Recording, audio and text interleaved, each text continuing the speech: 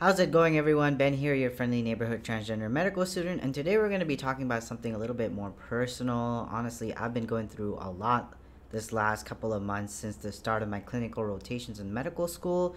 One of the big reasons why I've been going through a lot is because I've been having to go back into the closet for the first time in almost 12 years. I've been pretty open about my journey as a trans person going into medical school and going through my preclinical years in medical school and also the kinds of discrimination I've faced since applying to medical school. I made a video about what it meant to me applying to medical school as a trans person and how I didn't completely feel comfortable telling all the schools I applied to that I was trans.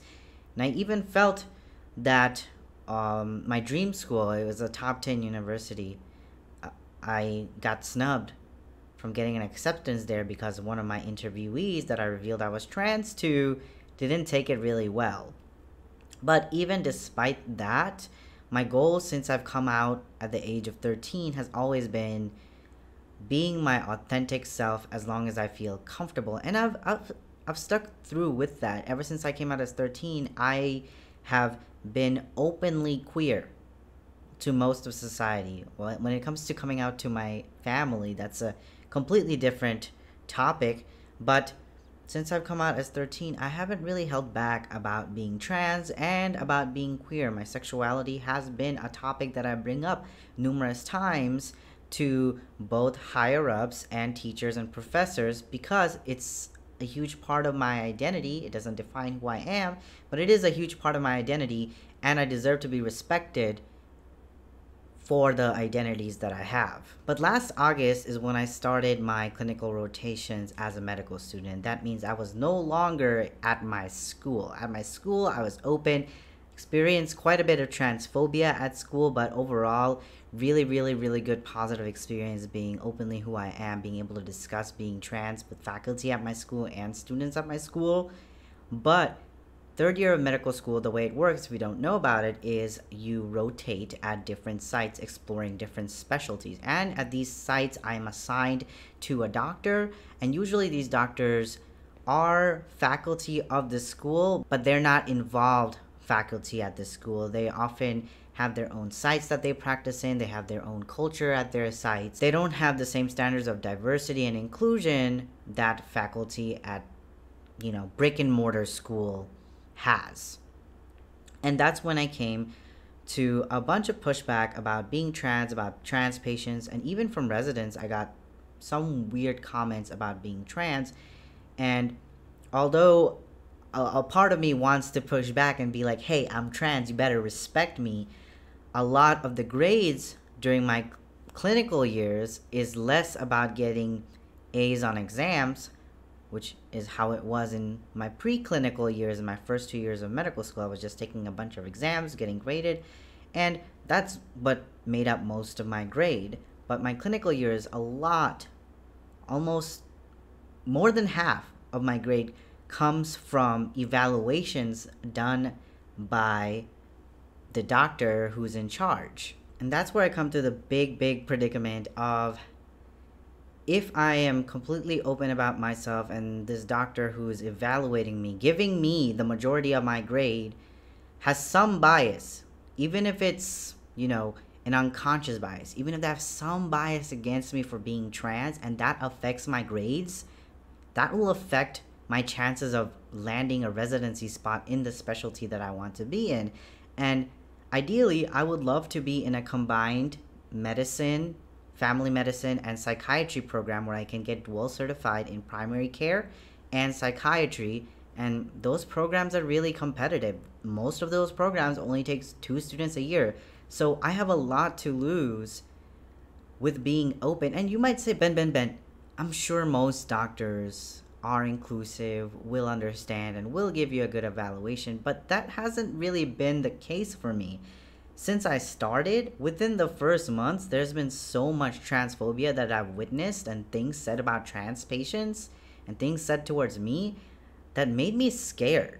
I went into my clinical years excited, ready to, you know, bust it out, ready to work my butt off, ready to impress people with the amount of, you know, care that I can give to patients, but with also the knowledge that I have But within the first month, someone made a joke about me being pregnant. I there was a there was a doctor who in a patient room was making jokes about trans people to the point patients in that room had to tell the doctor that they were being inappropriate. So within my first month, I was subject to so much transphobia that it scared me to be open about myself.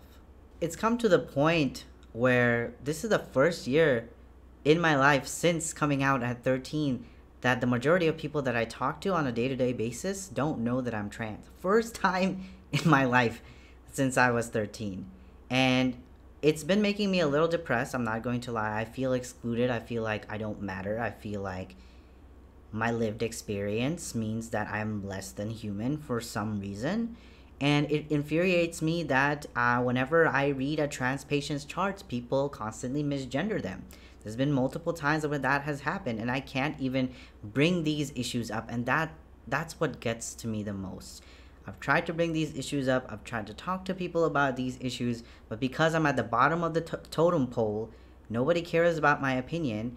And if I speak up too much, I am crossing a line that and that may affect my evaluation.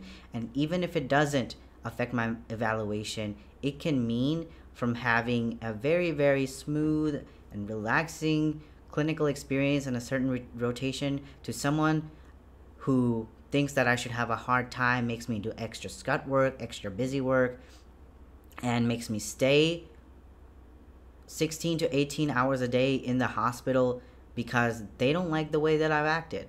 I've been doing a lot of reflection on it, and some nights it's just really hard just to process like how much I've had to hide who I am these last six months, and I'm going to have to keep hiding who I am until June of 2022. But I'm so looking forward to not having to do this ever again.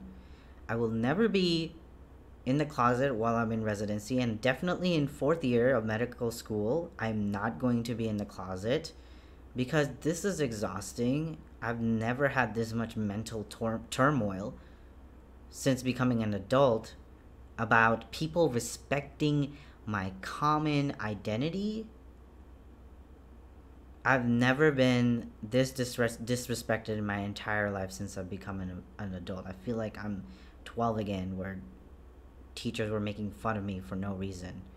It's a really toxic atmosphere, and it's even more toxic being a trans person of color in this field and being the only one that exists in my current institution. So it's been hard.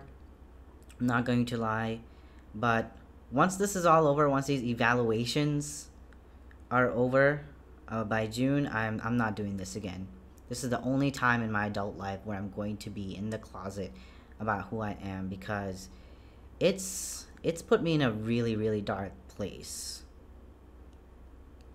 But it's not going to happen anymore.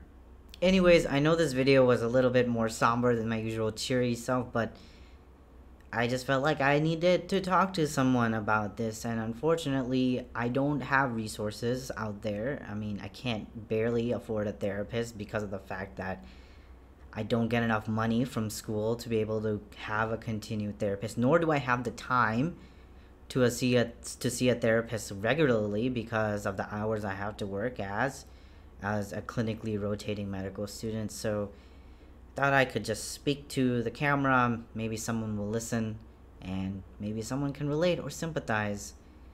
And I just really wanted to share my raw experience in this video because it's it's just been hard. And I'm trying to stay positive and I know I'll I'll get through this, but some days are harder than others. Anyways, I hope you got something out of this video. I hope you enjoyed listening to me. Follow me on Instagram and Twitter to keep up with my daily life and shenanigans I get into. And I'll see y'all in the next video. And hopefully it won't be this depressing. Love y'all. Mwah. This has been